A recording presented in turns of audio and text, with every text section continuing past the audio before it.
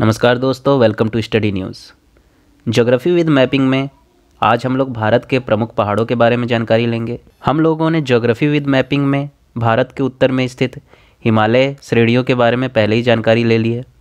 आज इस वीडियो में हम लोग भारत के मैदानी भाग, प्रायद्वीपीय भाग और अन्य क्षेत्रों में स्थित पहाड़ों के बारे में जानकारी प्राप्त करेंगे। सो लेट्स स्टार्ट तो बात करते हैं अरावली के बारे में। इस मैप में आप ध्यान से देख सकते हैं। यहाँ पर यह है अरावली। ये विश्व की सबसे प्राचीनतम पर्वत श्रेणी है, जिसका विस्तार गुजरात से लेकर दिल्ली तक है, जिसकी लंबाई लगभग 800 किलोमीटर है। अब यह अपर्दन के कारण अवशिष्ट रूप में दिखाई देती है। इसका अधिकांश भाग राजस्थान में है।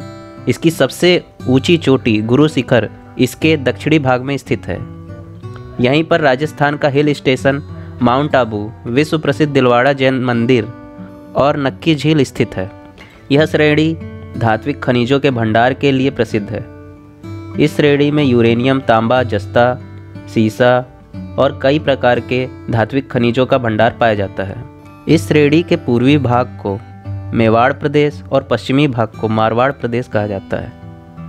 मेवाड़ प्रदेश में राजस्थान की सर्वाधिक जनसंख्या निवास करती है, जबकि मारवाड़ प्रदेश में मरुस्थलों का विस्तार पाया जाता है। और इन क्षेत्रों में खनिजों का भंडार भी पर्याप्त मात्रा में पाया जाता है। अब बात करते हैं विंध्याचल श्रेणी के बारे में। यह राजस्थान में चित्तौड़गढ़ से लेकर बिहार में सासाराम या सोन नदी तक फैली हुई श्रेणी है, जिसका विस्तार राजस्थान, मध्य प्रदेश, उत्तर प्रदेश, झारखंड और बिहार में है। ये चूना पत्थर और बलुआ पत्थर से निर्मित श्रेणी है, जिसमें जिप्सन के भंडार पाए जाते हैं। ये श्रेणी उत्तर भारत को दक्षिण भारत से अलग करने के साथ साथ जल विभाजक का भी कार्य करती है। इस श्रेणी में कई पठार भी हैं, जैसे भांडेर का पठार, मिर्ज़ापुर का पठार, कैमूर का पठार, रोहतास का पठार स्थित है, जिस कारण इसमें कोई भी ऊँची चोटियाँ नहीं दिखाई देती। अगला है सतपुड़ा पर्वत श्रेणी। इसका विस्तार गुजरात, महाराष्ट्र, मध्य प्रदेश और छत्तीसगढ़ की सीमा पर है। ये प्राचीन पर्वत श्रेणी है, जो अवशिष्ट रूप में दिखाई देती है। इसके दोनों ओर भ्रंश घाटियों का विस्तार है। ये ब्लॉक पर्वत का एक अच्छा उदाहरण है। इसकी सबसे ऊँची चोटी धूपगढ़, महादेव श्रेणी पर स्थित है। यहीं पर मध्य प्रदेश की हिल स्टेशन मंचमढ़ी भी स्थित है, जो जैव मंडल आरक्षित क्षेत्र है। सतपुड़ा की दूसरी महत्वपूर्ण चोटी अमरकंटक मैकाले श्रेणी पर मध्य प्रदेश और छत्तीसगढ़ की सीमा पर स्थित है। अब हम लोग बात करते हैं पश्चिमी घाट के बारे में। प्रायद्वीपीय भारत के पश्चिमी भाग में फैली हुई श्रेणियों को पश्चिमी घाट या सहयाद्री श्रेणी कहा जाता है। इसका विस्तार गुजरात में ताप्ती नदी से लेकर दक्षिण में कन्याकुमारी तक, गुजरात, महाराष्ट्र, गोवा, कर्नाटक, केरल तमिलनाडु राज्यों में 1600 किलोमीटर लगभग की लंबाई में फैला हुआ है, जो वास्तव में पर्वत नहीं बल्कि भ्रंश कगार या पठारों का कगार कह सकते हैं, जो सदा हरित वनों से ढका हुआ है। इसकी सबसे ऊँची चोटी अन्नामुड़ी, अन्नामलाई श्रेणी पर केरल राज्य में स्थित है। ये प्रायद्वीपीय भारत या दक्षिण भारत की सबसे ऊँची चोटी है। पश्चिमी घाट को तीन भागों में बांटा गया है। पहला है ऊपरी या उत्तरी सह्याद्री। यह गुजरात में ताप्ती नदी से लेकर गोवा में मांडवी नदी तक फैली हुई श्रेणी है। इसकी सबसे ऊँची चोटी कलसुबाई है, जो महाराष्ट्र में हरिश्चंद श्रेणी पर स्थित है। इसी सह्याद्री में महाराष्ट्र का हिल स्टेशन महाबलेश्वर स्थित है। दूसरा है मध्य सह्याद्री। ये मांडवी नदी, जो गोवा में है, मांडवी नदी से लेकर कर्नाटक में नीलगिरी श्रेणी तक फैला हुआ है।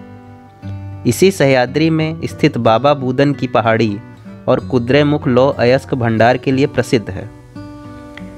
इसी सह्याद्री की सबसे ऊँची चोटी कुद्रेमुख, कर्नाटक की सबसे ऊँची चोटी है। पश्चिमी घाट का तीसरा भाग है निचली या दक्षिणी सह्याद्री। यह कर्नाटक में नीलगिरी श्रेणी से लेकर दक्षिण में कन्याकुमारी तक फैली हुई है। यह सह्याद्री कई छोटी छोटी पहाड़ियों से बटी हुई है। इसकी सबसे ऊँची चोटी अन्नामुडी, केरल राज्य में स्थित है। इस सह्याद्री में कोड़ई कोनाल उदक मंडलम जिसे ऊटी भी कहते हैं, हिल स्टेशन स्थित है। अब बात करते हैं पूर्वी घाट के बारे में।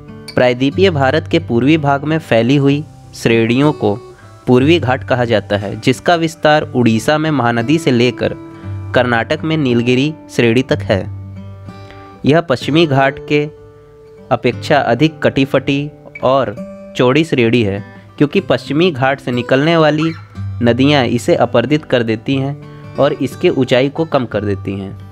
इसकी सबसे ऊँची चोटी अरवाकोंडा या विशाखापत्तनम की चोटी, जिसकी लंबाई लगभग 1680 मीटर है, आंध्र प्रदेश में स्थित है ये। जबकि इसकी दूसरी सबसे ऊँची चोटी महेंद्रगिरी, उड़ीसा में स्थित है। अब बात करते हैं नीलगिरी श्रेणी के बारे में। ये केरल, कर्नाटक और तमिलनाडु राज्य में फैली हुई श्रेणी है। इसका सर्वाधिक विस्तार केरल राज्य में है। इसी श्रेणी पर पूर्वी और पश्चिमी घाट का मिलन बिंदु कर्नाटक राज्य में है। इसकी सबसे ऊँची चोटी दोदा बेटा तमिलनाडु राज्य में स्थित है। यह प्रायद्वीपीय भारत या दक्षिणी भारत की दूसरी सबसे ऊँची चोटी है।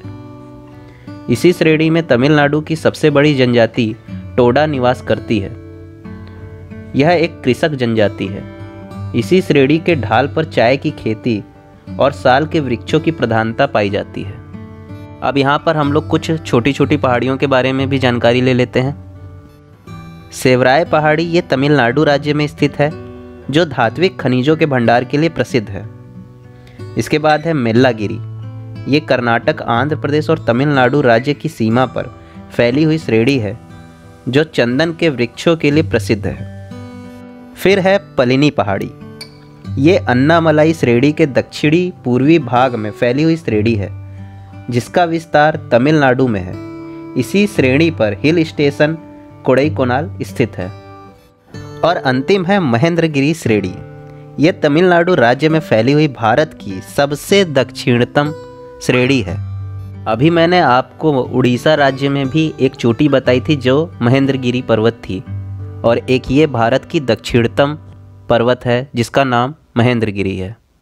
तो ये थे भारत के कुछ इम्पोर्टेंट पहाड़ों के बारे में जानकारी। So thanks for watching this video please like subscribe and comment